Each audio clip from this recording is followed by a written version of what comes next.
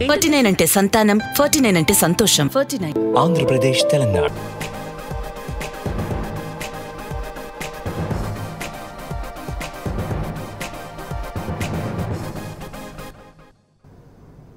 Good morning Telangana. Welcome to T news నేను మమత ముందుగా బులెటిన్లో హెడ్లైన్స్ రెండేళ్ళ తర్వాత గాడిన పడ్డ అకాడమిక్ క్యాలెండర్ ఇవాల్టి నుంచి తెరుచుకోనున్న స్కూల్స్ రాష్ట్రంలో ముగింపు దశకు ధాన్యం కొనుగోలు ఇప్పటి వరకు నలభై ఎనిమిది లక్షల టన్నులు సేకరణ. శ్రీలంకలో చిచ్చుపెట్టిన Adani Modi wind power plant కోసం కోటబయ రాజపక్సపై ఒత్తిడి. ఓవైపు యుద్ధం మరోవైపు కలరా ఉక్రెయిన్కు కొత్త సంకటం.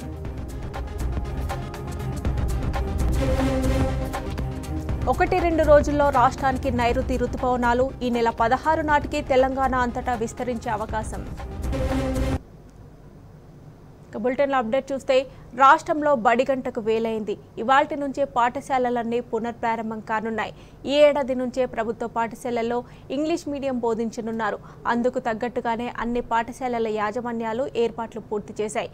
ముఖ్యంగా కరోనా జాగ్రత్తలు పకడ్బందీగా అమలు చేసేలా చర్యలు తీసుకుంటున్నాయి.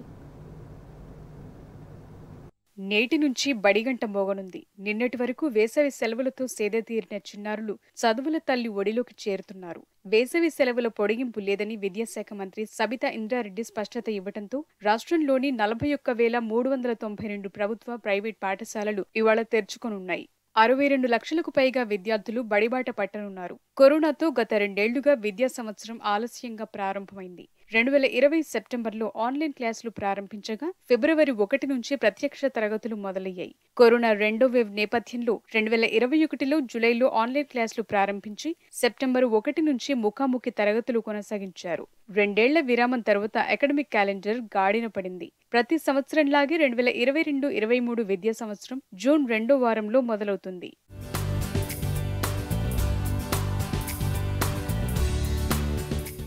ఇక ఈ సంవత్సరం నుంచే ప్రభుత్వ పాఠశాలల్లో ఇంగ్లీష్ మీడియం ప్రవేశపెట్టబోతున్నారు. ఇందుకోసం లక్ష నాలుగు వేల మంది గవర్నమెంట్ టీచర్లకు అజిం ప్రేమ్జీ యూనివర్సిటీ ఆధ్వర్యంలో ఇంగ్లీష్ మీడియం బోధనపై శిక్షణ అందించింది ప్రభుత్వం. బ్రెడ్జ్ కోర్స్ కింద ఒకటి నుంచి ఎనిమిదో తరగతి వరకు ఇంగ్లీష్ మీడియంలో బోధిస్తారు. ఒకేసారి ఇంగ్లీష్ మీడియం అంటే పిల్లలు ఇబ్బంది పడతారు కాబట్టి ప్రభుత్వం బైలింగ్వల్ బుక్స్ని సిద్ధం చేసింది. కార్పొరేట్కు దేటుగా విద్యను అందిస్తోన్న ప్రభుత్వ పాఠశాలల్లోనే పిల్లలను చేర్పించాలని పేరెంట్స్ని కోరారు మంత్రి సబిత. బడిబాటలో భాగంగా డెబ్బై వేల ఆరు వందల తొంభై ఎనిమిది మంది పిల్లలను ప్రభుత్వ పాఠశాలల్లో కొత్తగా చేర్పించామని తెలిపారు. ఇంగ్లీష్ మీడియం బోధన నేపథ్యంలో పిల్లలు ఇబ్బంది పడకుండా నెలపాటు బ్రిడ్జ్ కోర్సు తరగతులు నిర్వహిస్తున్నామని తెలిపారు.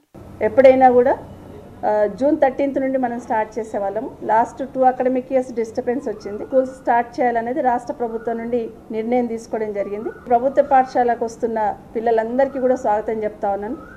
ఎందుకంటే ప్రత్యక్ష బోధనకు ఆన్లైన్ బోధనకు చాలా తేడా ఉంటుంది. సో పిల్లలందరూ కూడా ఎదురు చూస్తూ ఉంటారు ఎప్పుడెప్పుడు స్కూల్కి వెళ్ళాలని. పిల్లలకి వెల్కమ్ చెప్తున్నాను. పేరెంట్స్ అందరూ కూడా అవక పరిస్థితులన్నీ కూడా ఆ విధంగా అనుకూలంగా ఉండేటట్టు నిర్ణయాలు తీసుకోవాలని కోరుతా ఉన్నాను. ఇక రాష్ట్ర ప్రభుత్వం చేపట్టిన మరో బృహత్తర కార్యక్రమం మన ఊరు మనబడి. ఈ కార్యక్రమం కింద మొదటి విడతగా తొమ్మిది వేల పాఠశాలలను ప్రభుత్వం ఆధునీకరిస్తోంది. విద్యార్థులకు ఇబ్బందులు లేకుండా సాధ్యమైనంత త్వరగా పనులు పూర్తి చేయనున్నారు. మన ఊరు మనబడిలో భాగంగా ప్రభుత్వ పాఠశాలల్లో శానిటేషన్ డ్రింకింగ్ వాటర్ ఇతర సౌకర్యాలన్నీ సరిగ్గా ఉండేలా చూసుకోవాలని స్థానిక సంస్థల ప్రతినిధులకు మంత్రి సబిత విజ్ఞప్తి చేశారు. విద్య ప్రమాణాలు మెరుగుపరచడానికి కృషి చేస్తున్న ప్రభుత్వ ఉపాధ్యాయులకు మంత్రి సబిత కృతజ్ఞతలు తెలిపారు. ఇక పట్టణాల్లో ఎమ్మెల్యేలు స్థానిక ప్రజా ప్రతినిధులు మున్సిపాలిటీల్లో కౌన్సిలర్లు చైర్మన్లు గ్రామాల్లో సర్పంచ్లు ప్రభుత్వ పాఠశాలలను సందర్శించి విద్యార్థులకు స్వాగతం పలకాలని మంత్రి పిలుపునిచ్చారు. ఈసారి మన రాష్ట్ర ప్రభుత్వం గౌరవ ముఖ్యమంత్రి గారు ప్రభుత్వ పాఠశాలలో ఇంగ్లీష్ మీడియం ప్రవేశపెట్టాలనే నిర్ణయాన్ని తీసుకోవడం జరిగింది. దానికి సంబంధించి లక్ష నాలుగు వేల మంది టీచర్స్కి ప్రభుత్వ పాఠశాలలో పనిచేస్తున్న టీచర్స్కి అజిం ప్రేమ్ యూనివర్సిటీ వాళ్ళ ఆధ్వర్యంలో మనం వాళ్ళకి ఇంగ్లీష్ మీడియంలో వాళ్ళకి క్లాసెస్ కూడా ట్రైనింగ్ కూడా ఇవ్వడం జరిగింది. టీచర్స్ అందరు ప్రిపేర్డ్గా ఉన్నారు. ఫస్ట్ నుండి ఎయిత్ వరకు మనము ఇంగ్లీష్ మీడియంలో క్లాసెస్ కండక్ట్ చేయబోతా ఉన్నాం. అందరికీ కూడా ఎవరైతే పేరెంట్స్ ఉన్నారో వాళ్ళందరికీ కూడా మరొకసారి విజ్ఞప్తి మీ పిల్లలకి ఈరోజు ఫస్ట్ నుండి ఎయిత్ వరకు ఇంగ్లీష్ మీడియంలో చెప్పబోతా ఉన్నాం. ఎవరైనా జాయిన్ చేయాలనుకున్న వాళ్ళందరూ కూడా జాయిన్ చేయమని కోరుతా ఉన్నాను. ఇప్పటికీ ఒక డెబ్బై వేల మందిని వారం రోజులలో మన ప్రభుత్వ పాఠశాలలో చేర్పించడం జరిగింది బడిబాటలో ఇంకొక ఇరవై ఇరవై ఐదు రోజులు బడిబాట నడుస్తుంది కాబట్టి అందరూ కూడా ప్రభుత్వ పాఠశాలలో జాయిన్ చేయాలని మరొకసారి విజ్ఞప్తి చేస్తా ఉన్నాను. మరోవైపు విద్యార్థులను క్షేమంగా తరలించే స్కూల్ బస్సుల విషయంలో ఆర్టీఏ ప్రత్యేక దృష్టి పెట్టింది. గ్రేటర్ పరిధిలోని హైదరాబాద్ రంగారెడ్డి మేడ్చల్ జిల్లాల రవాణా శాఖ పరిధిలో పదకొండు వేల ఎనిమిది వందల నలభై రెండు విద్యా సంస్థల బస్సులున్నాయి. నిబంధనలు పాటించని బస్సులను సీజ్ చేస్తామని అధికారులు హెచ్చరించారు. ఇప్పటికే స్కూల్ యాజమాన్యాలకు నోటీసులు పంపించారు.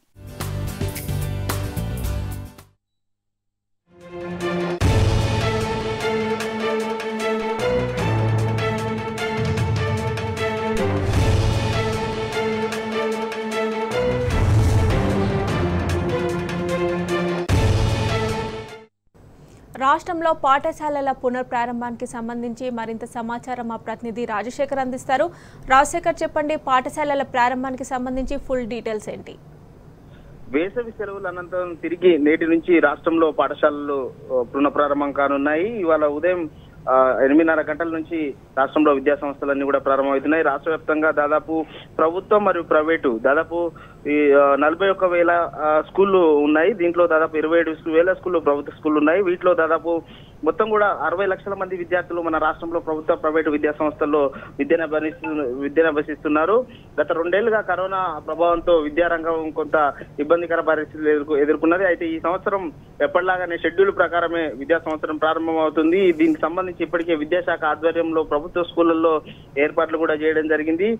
దాదాపు ఇవాళ ఇప్పటికే రాష్ట్ర వ్యాప్తంగా ప్రభుత్వం మన ఊరు మన పడి పేరుతో ఒక కార్యక్రమం చేపట్టింది. ఈ కార్యక్రమం ద్వారా దాదాపు పన్నెండు అంశాల వారీగా కూడా ప్రభుత్వ పాఠశాలలో మౌలిక వసతులు ప్రభుత్వం కల్పిస్తుంది. అందులో భాగంగా మొదటి దశలో దాదాపు తొమ్మిది వేల నూట ఇరవై మూడు స్కూళ్ళలో పన్నెండు అంశాల వారిగా అభివృద్ధి చేస్తుంది. వీటి కోసం మూడు వేల నాలుగు వందల తొంభై కోట్లతో ప్రభుత్వం ఖర్చుతో స్కూళ్ళన్నీ కూడా రూపురేఖలు మారుతా ఉన్నాయి.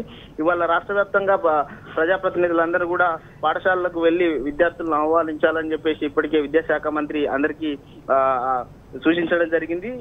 ఉదయం విద్యాశాఖ మంత్రి సత్యేందర్ రెడ్డి ఉదయం తొమ్మిది గంటలకు హైదరాబాద్ జిల్లాలోని గన్పాండ్రి లోని ఆలియా ప్రైమరీ స్కూల్ అలాగే మహబూబియా ఉన్నత పాఠశాలలో విద్యార్థులకు పుష్పగుచ్చాలు ఇచ్చి పాఠశాలకు స్వాగతం పలకనుంది. ఇప్పటికే పుస్తకాలకు సంబంధించి కూడా ప్రభుత్వ పాఠశాల విద్యార్థులకు ఈ సంవత్సరం రాష్ట్రం ప్రభుత్వం రా- రాష్ట్రంలో అన్ని విద్యా సంస్థల్లో ఇంగ్లీష్ మీడియాన్ని ప్రవేశపెట్టాలని నిర్ణయించుకుంటే అందులో భాగంగా ఒకటో తరగతి నుంచి ఎనిమిదో తరగతి వరకు ఈ సంవత్సరం నుంచి రాష్ట్రంలో ఇంగ్లీష్ మీడియం విద్యను అభ్య- అందించబోతా ఉన్నారు. దీనికి సంబంధించి ఇప్పటికే ప్రభుత్వం అజీజ్ ప్రేమ్జీ యూనివర్సిటీ ద్వారా ఒక లక్ష నాలుగు వేల మంది ఉపాధ్యాయులకు ప్రత్యేకంగా ట్రైనింగ్ ఇవ్వడం జరిగింది. ఇప్పటికే మిగతా టీచర్లందరూ కూడా ఇంగ్లీష్ మీడియంలో బోధిస్తున్నందువల్ల ఓన్లీ తెలుగు మీడియంలో ఎవరైతే ఇప్పటి వరకు బోధించారో వాళ్ళందరికీ ప్రత్యేకంగా ట్రైనింగ్ ఇవ్వడం జరిగింది. మరోవైపు రాష్ట్రంలో ప్రభుత్వం బడిబాట ద్వారా ప్రొఫెసర్ జయశంకర్ బడిబాట కార్యక్రమం ఇప్పటికే గత పది రోజులుగా నిర్వహిస్తుంది. ఈ బడిబాట ద్వారా దాదాపు డెబ్బై ఒక వేల మంది విద్యార్థులు ఇప్పటికే ప్రభుత్వ పాఠశాలలో చేరారు. చాలా మంది ఈ రాష్ట్రంలో ఇంగ్లీష్ మీడియం ప్రవేశపెట్టడంతో చాలా మంది విద్యార్థులు ప్రభుత్వ పాఠశాలలో ఇంగ్లీష్ మీడియంలో చదువుకునేందుకు మొగ్గు చూపుతున్న పరిస్థితి ఉంది. అలాగే గురుకుల పాఠశాలలో మన రాష్ట్రంలో దాదాపు నాలుగు లక్షల మంది విద్యార్థులు చదువుతున్నారు. ఈ నాలుగు లక్షల మంది విద్యార్థులకు సంబంధించి కూడా ఇవాళ ఇవాళ నుంచే గురుకుల పాఠశాలలు కూడా ప్రారంభమవుతున్నాయి. ఆ వారికి హాస్టల్స్ కూడా నేటి నుంచే ప్రారంభం కాబోతా ఉన్నాయి. అలాగే సంక్షేమ పాఠశాలలు మన రాష్ట్రంలో ఒక వెయ్యి నాలుగు వందల పదిహేడు ఉన్నాయి. అవి కూడా ఇవాళ నుంచి ప్రారంభం అవుతున్నాయి ఎయిడెడ్ స్కూళ్ళు ప్రైవేట్ స్కూళ్ళు అన్ని కూడా నేటి నుంచి ప్రారంభం కాబోతున్నాయి. అటు పాఠశాలల్లో సంబంధించి తాగునీటికి సంబంధించి మిషన్ భగీరథ ద్వారా ఎక్కడైనా ఇబ్బందులు ఉంటే ఇమీడియట్లీ మిషన్ భగీరథ ద్వారా వెంటనే తాగునీటి కనెక్షన్స్ ఇవ్వాలని చెప్పేసి ఆయా జిల్లా కలెక్టర్లను కూడా విద్యాశాఖ మంత్రి ఇప్పటికే ఆదేశించడం జరిగింది. సో మొత్తంగా దాదాపు రెండేళ్ళ తర్వాత ఫుల్ ఫ్లెడ్జ్గా ఈ సంవత్సరం అకాడమిక్ ఇయర్ ఎప్పటిలాగానే షెడ్యూల్ ప్రకారం ప్రారంభం కాబోతుంది. దీంతో విద్యార్థులంతా కూడా పాఠశాలకు వచ్చేందుకు ఉత్సాహం చూపుతున్న పరిస్థితి కనపడుతోంది. సో మరికొద్ది గంటల్లోనే ఇవాళ రాష్ట్ర వ్యాప్తంగా ప్రజాప్రతినిధులు పిల్లలను ఆహ్వానిస్తూ అనేక స్కూళ్ళు ప్రారంభంగా అయ్యే అవకాశాలు కనిపిస్తా ఉన్నాయి. Right Rajasekhar thanks for updates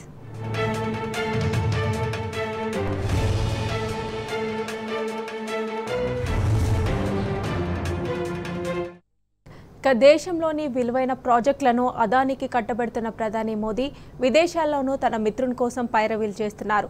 శ్రీలంకలోని Mannar wind power project పోటీ లేకుండా అదానికి అప్పగించాలని మోదీ ఒత్తిడి తెచ్చినట్లు తేలింది. ఈ విషయాన్ని సిలోన్ ఎలక్ట్రిసిటీ బోర్డు చైర్మన్ ప్రకటించడం సంచలనం సృష్టిస్తోంది. అదానీ గ్రూప్తో ఒప్పందానికి వ్యతిరేకంగా శ్రీలంకలో ఆందోళనలు మిన్నంటాయి.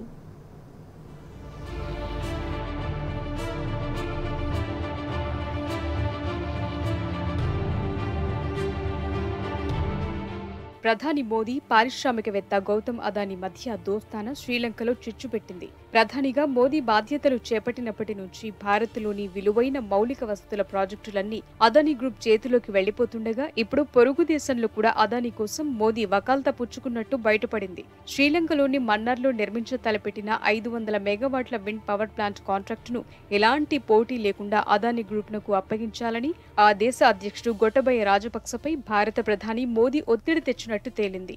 శ్రీలంకకు చెందిన Ceylon electricity board chairman MMC Ferdinando స్వయంగా ప్రకటించడం సంచలనం సృష్టించింది. ఫెర్డినాండో వ్యాఖ్యలను గొటబయ ఖండించినప్పటికీ ఆ దేశంలోని అదాని గ్రూప్తో ఒప్పందానికి వ్యతిరేకంగా ఉద్యమం ఉవ్వెత్తున ఎగసిపడుతోంది.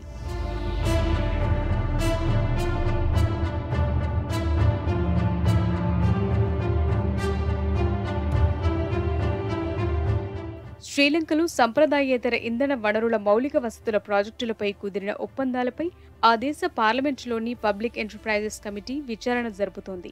ఈ కమిటీ ముందు ఫెర్డినాండో హాజరై కమిటీ ప్రశ్నలకు సమాధానమిచ్చారు.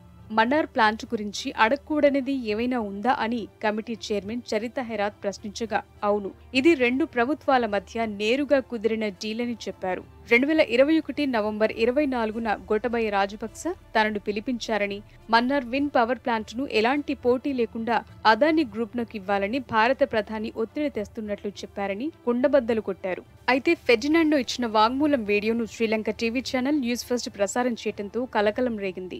దీంతో అధ్యక్షుడు గొట్టబయ్య ఓ ప్రకటన విడుదల చేశారు. పార్లమెంటరీ కమిటీ ముందు చెప్పిన మాటలను ఫెర్డినాండో ఉపసంహరించుకున్నారని మన్నార్ విన్ పవర్ ప్లాంట్ను ఏ వ్యక్తికి గాని ఏ సంస్థ సంస్థకు గాని ఇవ్వాలని తాను సిఫారసు చేయలేదని ప్రకటించారు.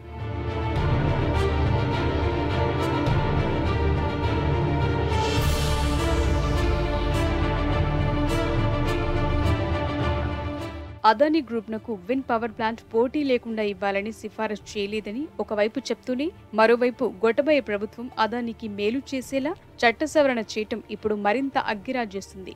విన్ సోలార్ పవర్ ప్లాంట్ల నిర్మాణ కాంట్రాక్టులను ఎలాంటి పోటీ లేకుండా ఎంపిక చేసిన సంస్థలకు అప్పగించేలా పంతొమ్మిది వందల ఎనభై తొమ్మిది నాటి ఎలక్ట్రిసిటీ చట్టానికి ప్రతిపాదించిన సవరణకు లంక పార్లమెంట్ ఆమోదం తెలిపింది. దీంతో అదానీ గ్రూప్నకు మన్నార్ ప్లాంట్ అప్పగింత ఒప్పందం చట్టబద్ధంగా మారిపోయింది.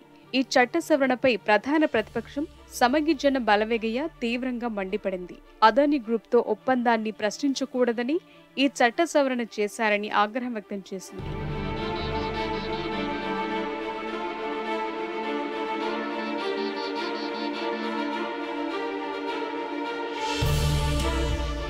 మన్నర్లు ఐదు వందల మెగావాట్ల విన్ పవర్ ప్లాంట్ను నిర్మించి అప్పగించేలా ఇరవై ఐదేళ్ళ కాలానికి సిఈబితో అదాని గ్రూప్ ఒప్పందం చేసుకుంది. ఎంఓయు సమయంలో యూనిట్ విద్యుత్తును ఆరు పాయింట్ ఐదు సున్నా అమెరికన్ సెంట్లకు సిఈబికి విక్రయించేలా ఒప్పందం కుదిరింది. కొంతకాలానికి ఈ ధరను అదాని గ్రూప్ ఏడు పాయింట్ ఐదు ఐదు సెంట్లకు పెంచేసింది. దీనిపై శ్రీలంక విద్యుత్ ఇంజనీర్లు తీవ్రంగా మండిపడుతున్నారు. ఈ ప్లాంట్ను అంతర్జాతీయ పోటీ బిడ్ల ద్వారా అప్పగిస్తే నాలుగు సెంట్లకే యూనిట్ విద్యుత్ వచ్చేదని ఇప్పుడు దాదాపు రెట్టింపు ధర చెల్లించాల్సి వస్తుందని చెప్తున్నారు. పోటీ లేకపోవడంతో అదానీ గ్రూప్నకు ఇరవై ఐదేళ్ళలో నాలుగు బిలియన్ అమెరికన్ డాలర్ల అయాచిత లాభం చేకూరుతుందని అంచనా వేశారు.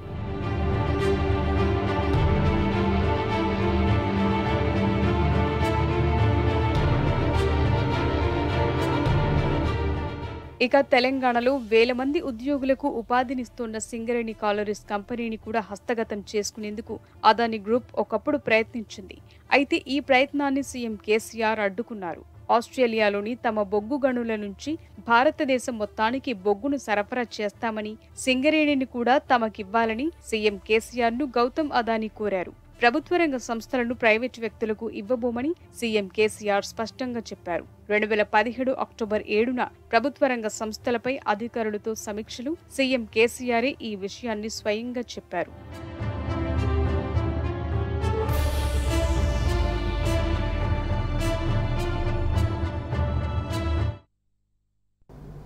ఇవి బులెటిన్ అప్డేట్స్.